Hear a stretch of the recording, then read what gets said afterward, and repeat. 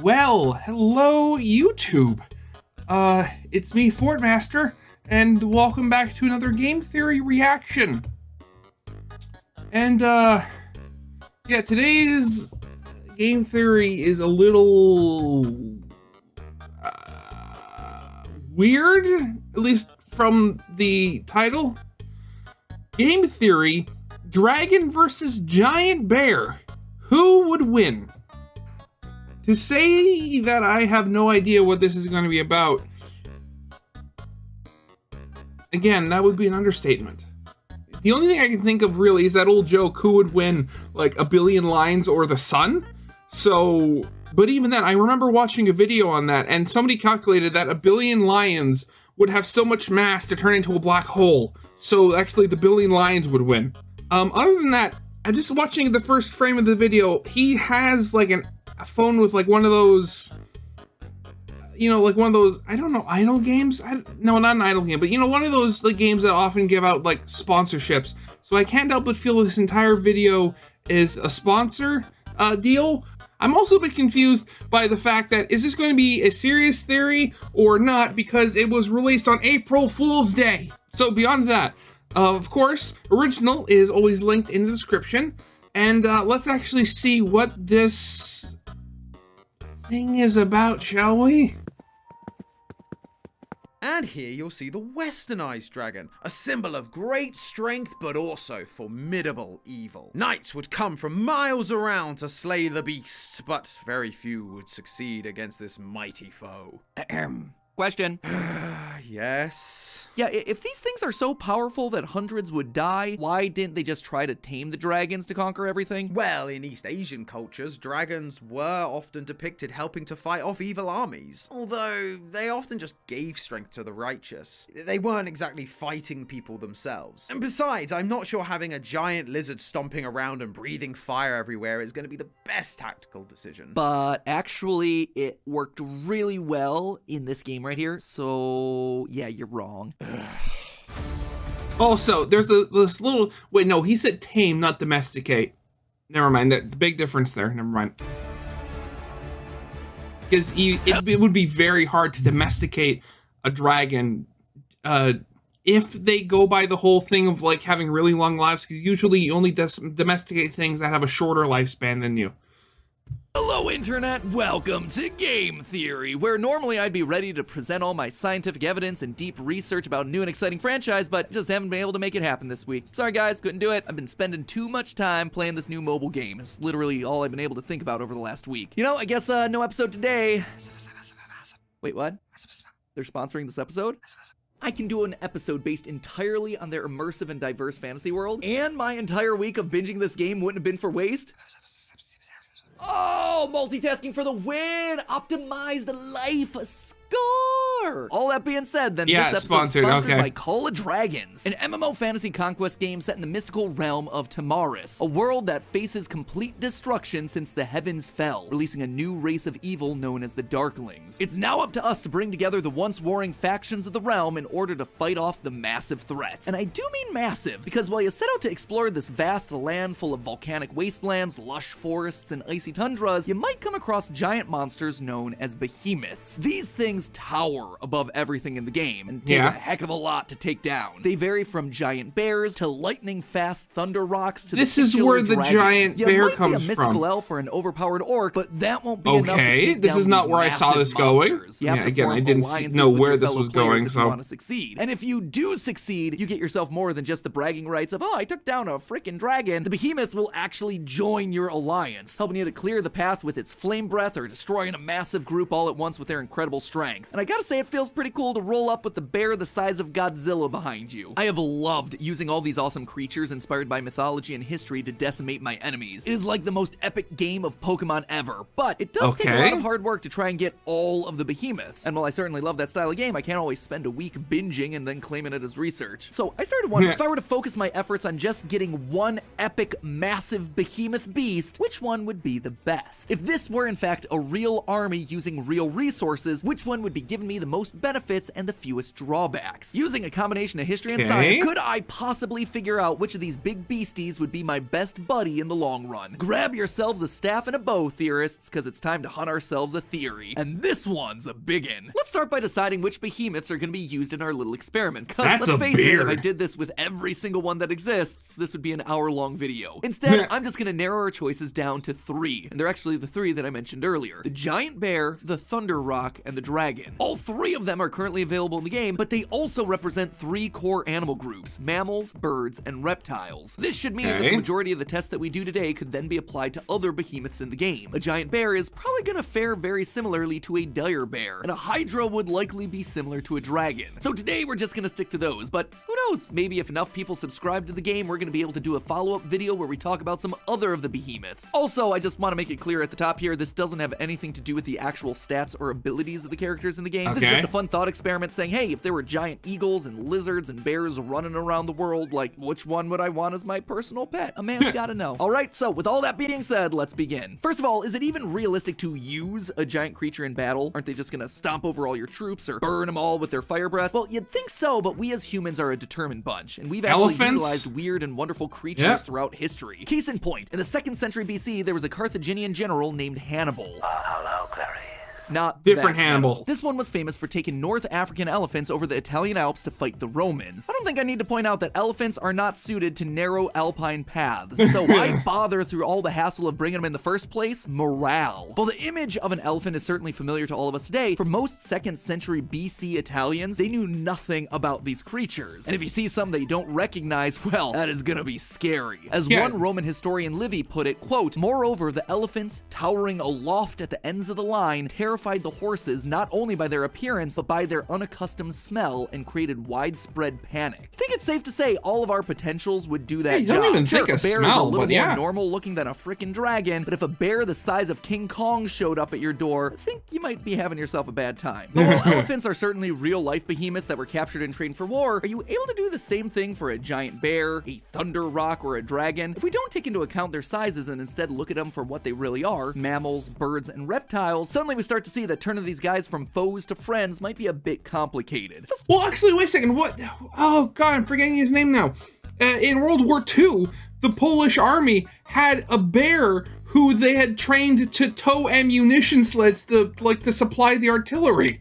I mean that that's like proof right there. If if he does not, if MatPat does not talk about, actually, I need to look at that. I need to look up his name. He deserves to be remembered. There we go. Watch, uh, watch, Wojtek, Wojtek.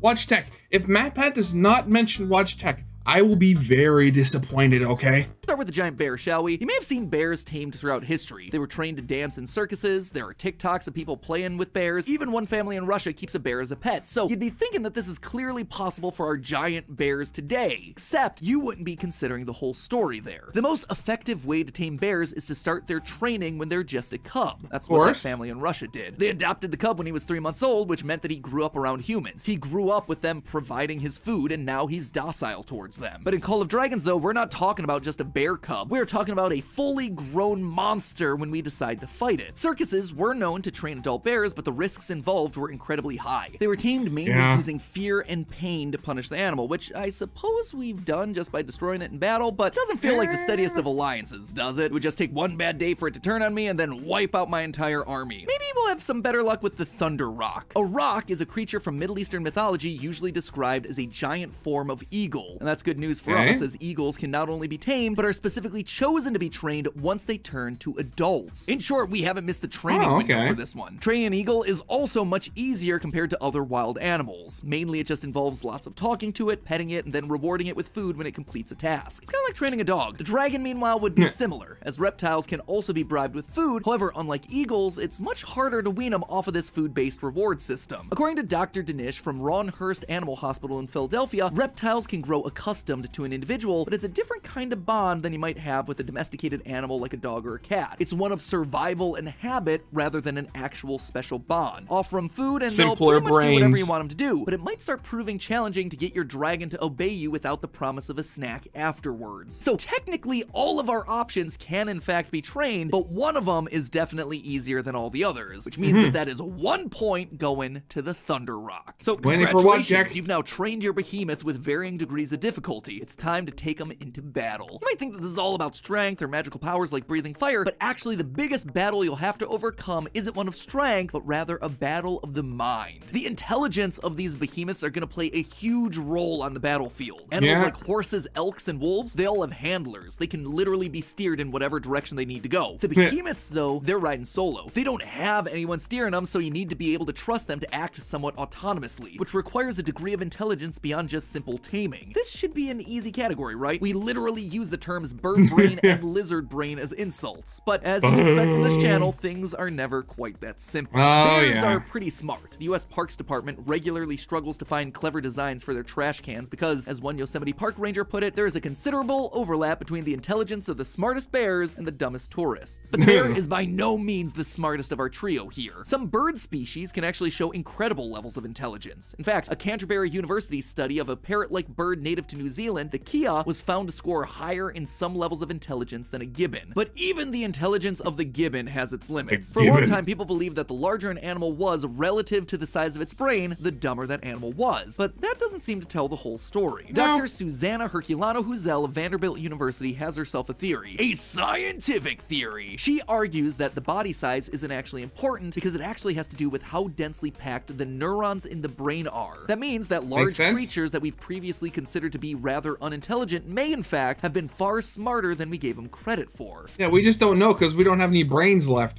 It's all about how densely you pack it. I mean, if the brain is a cubic meter volume, but it only has one neuron per cubic centimeter, that's gonna be a very, very dumb animal.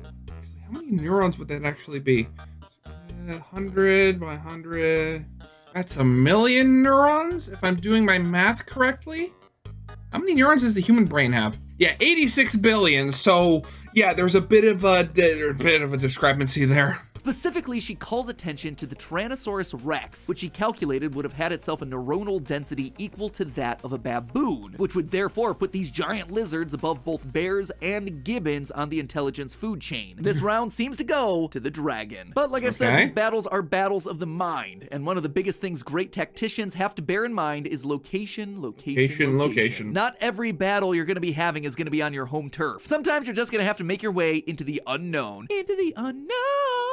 And if you take a look at the map of Tamaris, the unknown has itself a lot of variation. It's covered in forests, icy mountains, wastelands, basically every environment that you could possibly imagine, which makes for great gameplay, but ain't so great when you've got yourself a giant animal that's evolved specifically for a certain habitat. For example, Yeah. reptiles are cold-blooded. They are gonna struggle in those icy mountains. Technically, they can survive colder climates by going through a process called diapause, which slows down all their body processes almost to a stop. While they certainly won't die, they're also not going to be fighting much. So the No, they're not gonna be doing yeah, anything. super helpful in all those icy tundras. It's a fire-breathing dragon, bears though. and thunder rocs are a lot more versatile. Brown bears and bald eagles have both been reported living in almost any environment, from the snowy plains of Alaska to the fringes of deserts in Arizona, which means that Thunder Roc gets itself another point, and the giant bear has made itself onto the board. Admittedly, I'm not sure either would be particularly happy about getting forced to fight in such harsh climates, but you gotta do what you gotta do to get some of that sweet, sweet reward food. Which actually brings me to my final point. Animals aren't cheap to look after. They Yeah, require um, feeding just like any of our, our soldiers, but the amount they require can vary wildly from species to species. Bears typically need to eat around 16% of their body weight every single day, and while there's no official size for the giant bear in the game, we can get a pretty good idea of what a giant bear might look like thanks to our own history. Arctotherium angustidens was a huge prehistoric bear that grew up to 14 feet tall and Oh, weighed bear, in yes. 4,000 pounds. 16% of Hey. 4,000 would mean it needs to consume 640 pounds of food every day in order to survive. If a normal livestock animal like a cow weighs roughly 1,400 pounds on average, and 63% of that is actual edible meat, makes it about 882 pounds a day, that would mean that this giant bear eats one entire cow every one and a half days, which adds up to a Yeah. lot of cows very very quickly. That is 265 per year. I had hoped that the dragons would actually cost me a little less, as lizards are known to be great at conserving energy. One of the largest lizards in the world, the Komodo dragon, eats about 30% of its body weight in a single sitting. But the bonus is that it won't need to eat again for another month. It's a pretty good starting position, but our dragons are a little bit bigger, so how much food would they likely need? Unlike the bear, we actually get a shot of how big the dragon is. In the opening cutscene of the game, we can see the dragon standing in front of our heroes. Given Waldyr here in the middle is a human, we're gonna assume that he's the height of an average male or 5 foot 9 inches tall. Using Okay. pixel measurements then, we can estimate that the dragon is about 13 feet tall. A Komodo dragon standing on four legs is about 2 feet, meaning this dragon is six and a half times bigger than the usual Komodo. So he just needs six and a half times the amount of food, right?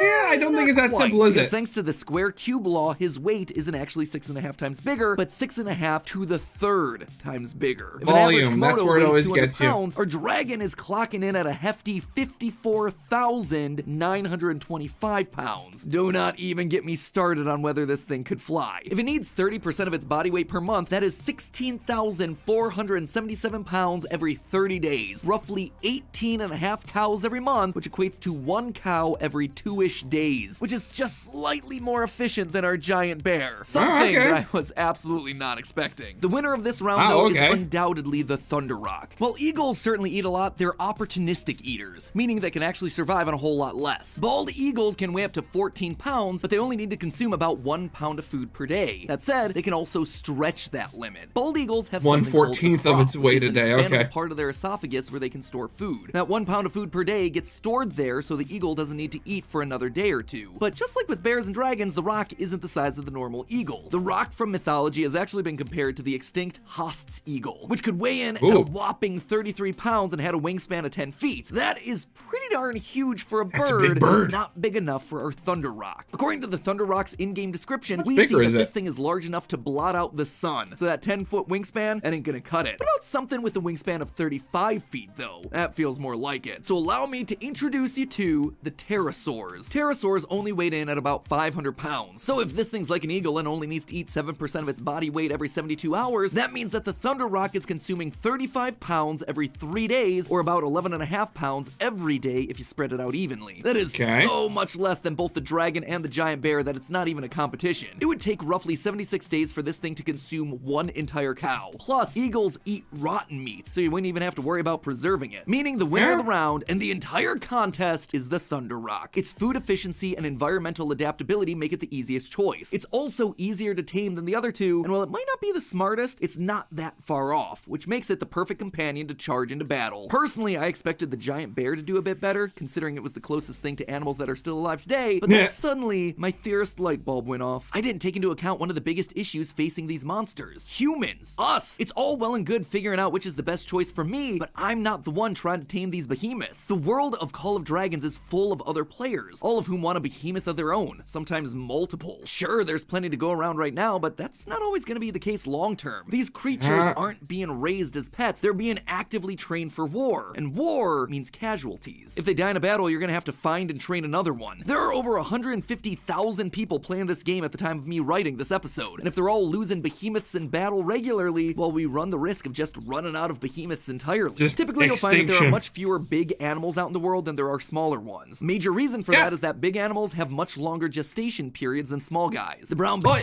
Bear can give birth to one to three cubs every eight months, which isn't low enough to fear species extinction normally, but if you're losing a giant bear every few battles, all of which can happen over the course of weeks, that eight months isn't going to be short enough to keep up with the demand. Our giant bear is also much bigger than a normal bear, and bigger animals have lower birth rates. I mean, what? Yeah, well, I mean, elephant uh, and the blue whale. I think aren't they? Aren't the mothers like pregnant for like on like average like two years or something?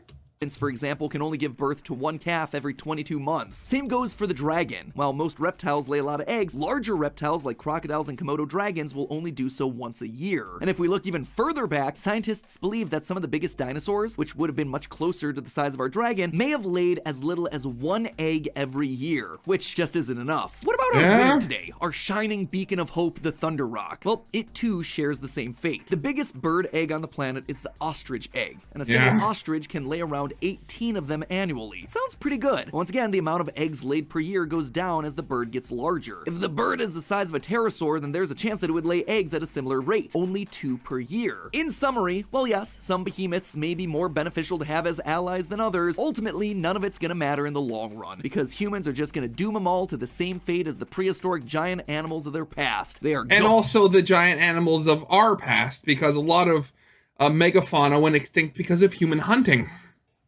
Going extinct, baby. I guess it goes to show that size sometimes doesn't matter. But hey, that's just a theory. A game theory. Thanks for watching. Again, that was that was a fun theory. That I liked that. At the same time, he is connecting some dots where you can't really immediately see the connection. Like immediately like talking about like dragons as if they are one to one, you know, to eh, regular lizards or dinosaurs, which you know, you can't really say that given that they breathe fire. So you don't even know if they are cold-blooded. Though, granted, that one, it looked like it lived like near a volcano, so probably being cold-blooded would actually be better. Either way, it was a fun little theory. Another, just giant animals, extinction. I mean, that's not to love? Either way. So, as always, original is in the description, and I hope you guys liked. If you did, leave a like, subscribe if you have not, and I'll see you guys next time. Goodbye.